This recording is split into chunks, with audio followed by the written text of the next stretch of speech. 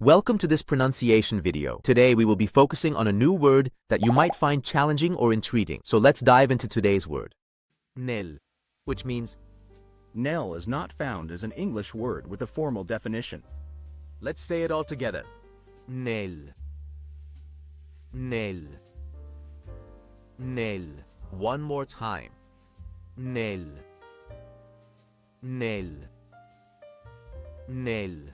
Thank you for joining us on this adventure in pronunciation. Remember, language is a journey, not a destination. Keep exploring, experimenting, and expanding your linguistic horizons. We'll see you next time.